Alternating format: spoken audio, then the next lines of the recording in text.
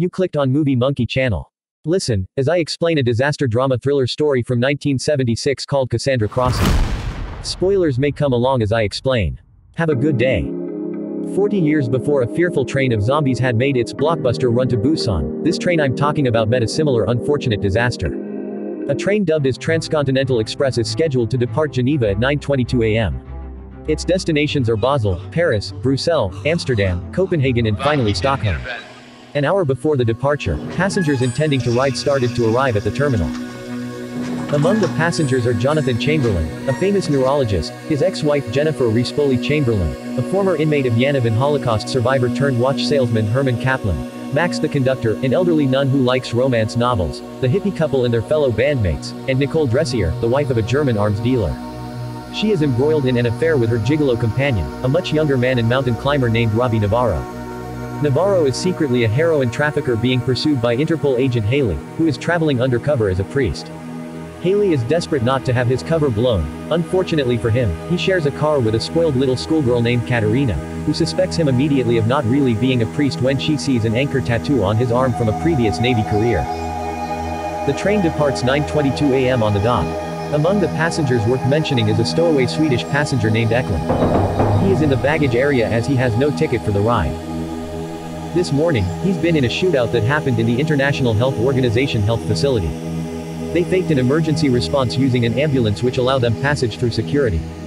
However, when they reach highly secured area, the guard stopped them. The patient lying on the gurney pulled a gun with suppressor, then shoots the guard. They walk past the fallen guard. But, the guard was able to shoot back after pretending dead which kills one of the guys. Eklund and the other guy set up a bomb on the hallways. The wounded guard was able to push an alarm button that alerted two other guards.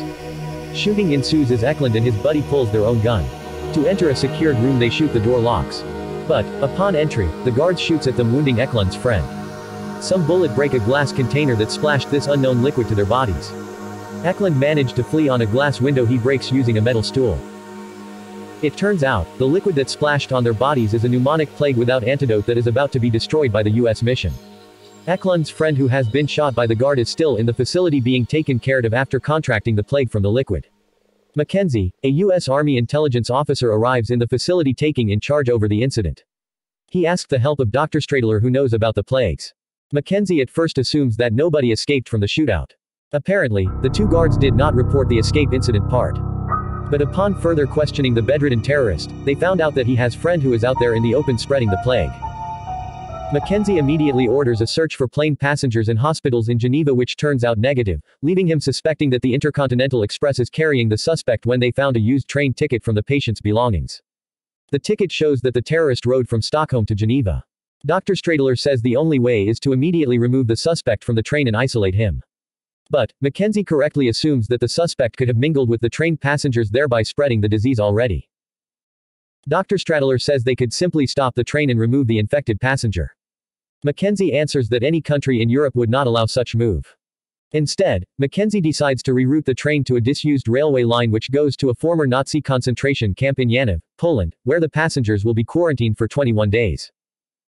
Probably, it would be better that nobody on the train knows what's happening, however, Dr. Chamberlain's ex-wife happens to peek on the window and realize that they already pass by Basel, one of the train's supposed stop. Worse, she saw police cars along the railways.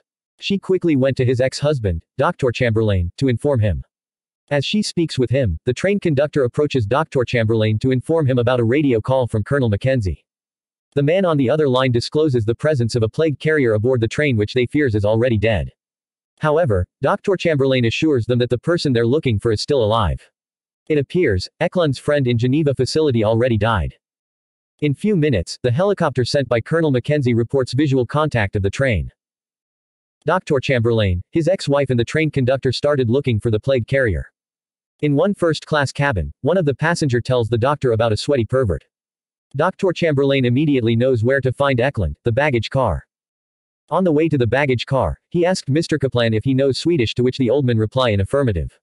He asked Mr. Kaplan to come with them. They found Eklund very weak, sweating and some wounds are showing in his face and arms. The doctor instructed his ex-wife and the conductor to find anything that would indicate a probable contamination among the passengers while Mr. Kaplan tries to speak with the plague carrier. Mackenzie instructed Chamberlain to get the sick man to the helicopter hovering above the train. They tried to get the man to the basket hanging from the helicopter, but the sheer weight of the bloated man prevented them from doing so. Instead, the conductor put the sick dog on the basket. The sick dog was secured in the helicopter. 12 miles ahead, there was a tunnel beneath a mountain. The helicopter stopped trying to lift the sick man as the train enters the tunnel. The sick man gone into coma. Chamberlain infers about the characteristics of the plague. Dr. Stradner informs him that the plague has no cure at the moment, spreads by airborne droplets, has 60% infection rate, and has initial symptoms like the common cold, sinus irritation and sore throat. Chamberlain asks Mackenzie for supplies and other provisions to contain the plague. Mackenzie further told Chamberlain that the train will be sealed once it arrives in Nuremberg and that he's planning to tell the passengers a different story to avoid panic from the passengers. The passengers now start showing some symptoms. Meanwhile, Dr. Stradner insists to bring the dog back to Geneva Health Facility to observe the dog and to further study the disease. Using the radio of the train, Mackenzie's voice is heard on the paging system informing the passengers that the train will be rerouted because the French railways notified them of a bomb threat on the railway lines. This started a ruckus. Some passengers wants to get off the train. Some had heated argument with the train's conductor. Previous argumentative conversation between Dr. Chamberlain and his ex-wife gradually turns to obvious concern for each other and amorous sometimes.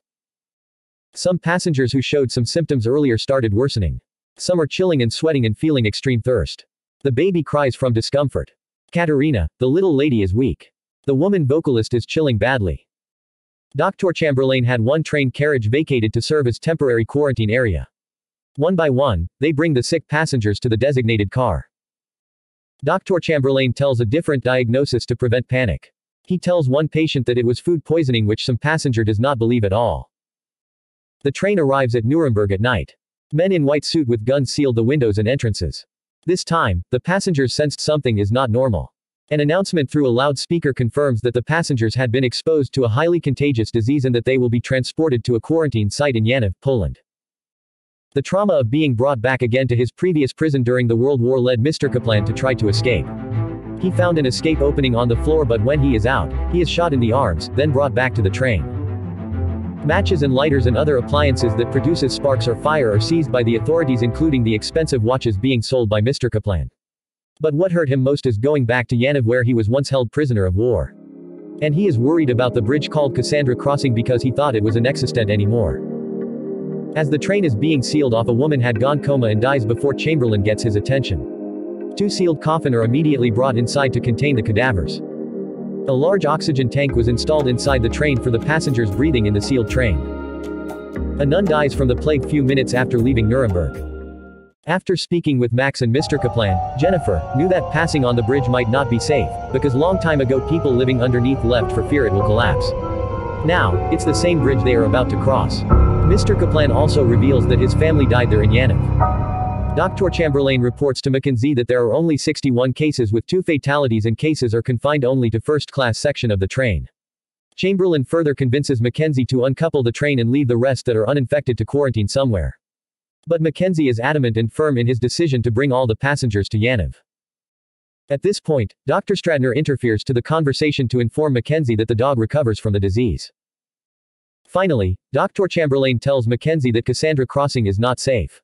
Mackenzie replies that the bridge was tested by computers and in personal inspection and that the government of Poland spent money to have it rebuilt to which Dr. Chamberlain does not believe. He's more convinced that Mackenzie is a liar. The priest finally blows his cover to apprehend the drug dealer but Robbie Navarro was able to fight and took his gun. He took his mistress hostage, disarmed some military in white. He wants the train stopped to which the military did not obey him. Robbie fires a warning shot that destroys the radio. Dr. Mackenzie interferes in the commotion. He challenged Robbie to kill them all and reveals that all he need is heroin. It's clear now why the doctor deferred administering him previously an injection because the doctor saw indication of needle injections of heroin in his arms. It ended up Robbie giving up his gun. Then, on the door there was the couple from the band revealing that the lady already recovered from the disease. Other patients on the train show signs of recovery. The dog brought back to Geneva also showed signs of steadily improving health. Dr. Stradner finally realized that oxygen caused the recovery of the dog. Then tells Mackenzie the reason why only two persons died in the train is because of the train was also oxygenated. Dr. Stradner calls the train to inform Dr. Chamberlain about the good news. At this moment we know it's not possible because Robbie the drug dealer riddled the radio with bullets. Dr. Chamberlain already knows about the recovery of the patients. Now he's trying to convince Captain Scott, the officer in charge, to at least delay the train for an hour so he could have enough time to make an examination to assess all the passengers. His concern is about the safety of the bridge that they are about to cross. Dr. Chamberlain was thrown out of the radio control carriage when he tried to pick up the telephone to tell the train operator to stop the train. In desperation, Dr. Chamberlain gathers some men to help him take over the train. He first recruited Robbie, then the agent discussing as priest, the couple from the band and others. One by one, they disarmed the military and got hold of their guns. Then they asked everybody in the first class to evacuate to second class carriage. Mr. Kaplan seemed to have surrendered himself to fate. He stayed on the second class for no apparent reason. Dr. Chamberlain's idea is for Robbie the drug dealer mountain climber to climb the roof and get to the train operator to stop the train.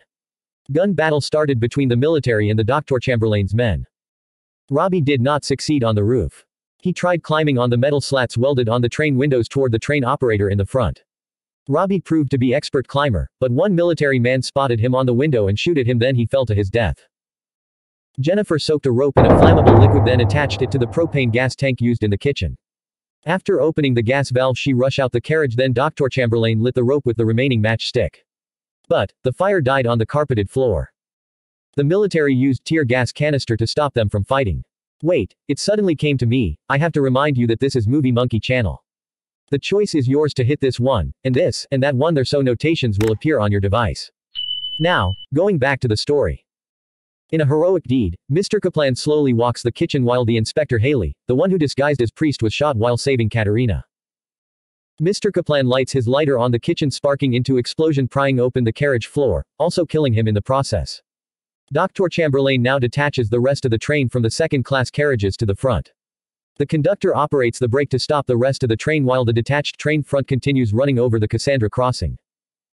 The steel bridge collapses before the front of the train reaches the middle.